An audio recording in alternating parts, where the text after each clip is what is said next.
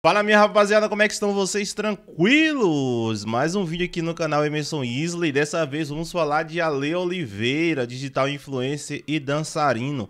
Ontem aconteceu a sua festa na Paraíba e rolou maior fuzuê. Teve pessoas que foram convidadas e não conseguiram entrar na festa. Também vou mostrar para vocês que teve pessoas que entraram de penetra. O cantor Natan teve que pular cerca e tudo mais. Vem entender o vídeo.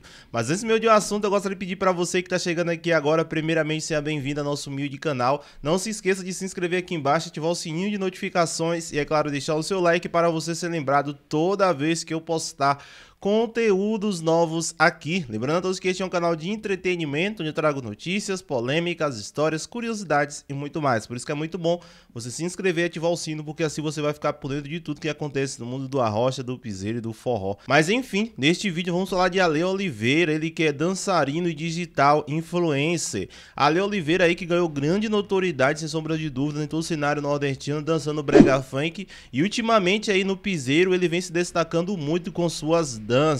O que importa nesse vídeo é que ontem aconteceu a sua festa na Paraíba e rolou maior fuzuê.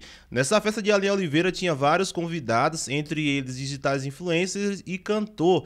Entre os cantores estavam Marcinho Sensação, Mari Fernandes, Japãozinho, tinha Christian Bell também, que é digital influencer e compositor, tinha o cantor Natan, Felipe Amorim e vários outros cantores. Ou seja, a turma toda do Piseiro aí estava nessa festa. Porém, o que acontece, rapaziada, é que a galera descobriu o local da festa e foram lá querendo, querendo entrar de penetra. Teve pessoas que pularam o muro e conseguiram entrar na festa, ali teve que tirar essas pessoas.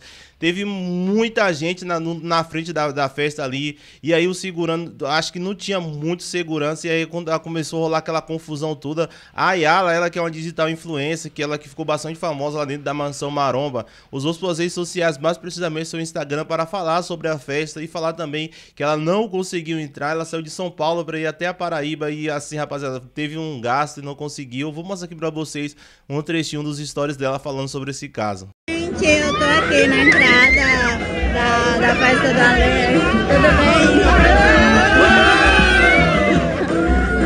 Meus amores, eu tô aqui desde sete e meia, oito horas, não lembro o horário, não lembro. Mas eu tô aqui há muito tempo com meus amigos tentando entrar nessa festa. É, falaram que ninguém mais ia entrar, não sei porquê, tinha muita gente sim, mas organização zero. Como é que não coloca todos os influenciadores que vieram pra cá, amigos dele, pra dentro dessa festa? Horrível, até deixar aqui uns vídeos pra vocês verem. Pera aí, deixa eu sair do barulho influenciadores que estavam entrando, entra, tentando entrar, gente, o segurança não deixava os influenciadores entrar e tal, ficava esculhambando a gente. Vou até mostrar aqui.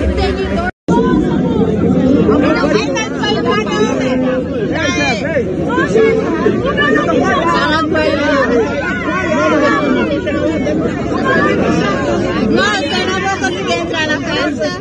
Não vou. Não, eu não vou conseguir entrar aqui. Não conseguir entrar. Não vou conseguir entrar. Olha, não vou.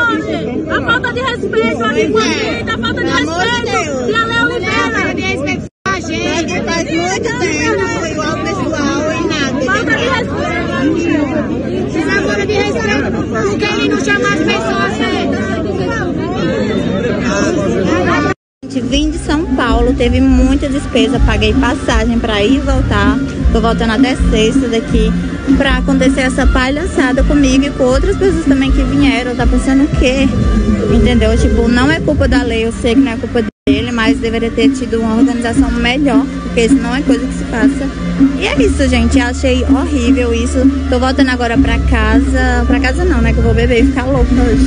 Mas é isso. Pois é, rapaziada. Como vocês viram aí, a Yala desabafando sobre o que aconteceu com ela. Também vou mostrar pra vocês agora um momento muito engraçado que foi o cantor Natan entrando na festa. Gente, Natan ele foi convidado e tudo mais, até porque Natan ele é muito amigo de Alice, sem sombra de dúvidas. Eu acho que seria muito tipo que, porra, Natan ficar de fora dessa festa. E aí ele teve que pular, velho, o muro ali, tá, porque tinha muita gente na frente, pessoas que não foram convidadas, e tava aquela confusão, ele teve que pular o muro por outro local. Vou mostrar pra vocês.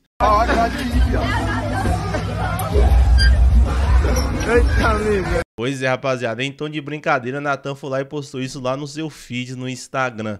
Outro momento também que chamou bastante atenção foi que a Lê fez um grande desabafo aí em sua festa para falar sobre as pessoas que que chegam perto dele hoje em dia, tipo, querendo aproveitar do hype. Eu vou mostrar pra vocês também.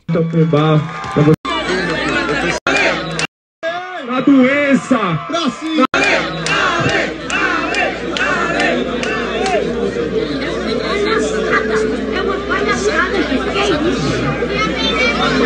Fechou? Fechou? Na doença, na tristeza e na alegria, no dinheiro e na pobreza. Vocês que postaram porque querem ganhar mídia em cima de mim. Vocês que tentaram prejudicar meu aniversário, que postou que alimento estava no chão, que é isso que a lei está fazendo uma festa, festa beneficente para botar alimento no chão. Vocês não são meus amigos. Vocês só querem usufruir do que eu tenho.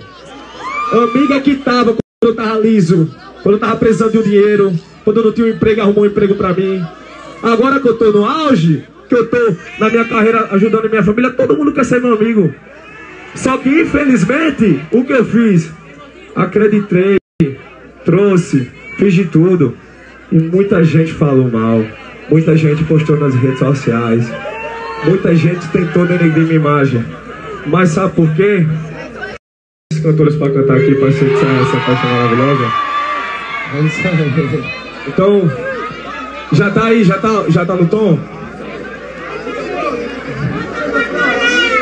Também teve outros momentos que a Lê desabafou em seu Instagram, falando que foi um dos piores momentos de sua vida. Ele chamou as pessoas que ele era mais próximo e tinha que levar um alimento e as pessoas não sabiam. Tem gente que sabiam, cara, mas só pra ir lá tentar entrar, foram falando que ia levar alimento, etc. Também teve um momento que a Lê falou sobre o que aconteceu ontem que eu vou mostrar para vocês. Pessoas que eu convidei não entrou. Pessoas que eu não convidei entrou.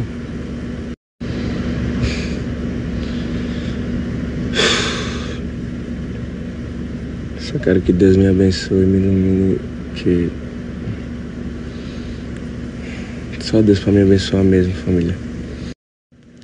Eu fiquei muito triste que a festa bateu o limite, do nada tinha mais mil pessoas lá fora. E eu sem saber o que fazer, não sabia o que fazer, e o povo empurrando o portão. Muita gente que foi convidada não entrou. E uma festa que tenho um som tão grande, convidei as maiores atrações do momento. Tudo organizadinho, para dar tudo certo. E no final, deu isso aí, deu isso aí. Muita gente foi lá pra frente do evento achando que a entrada era 5 kg de alimento.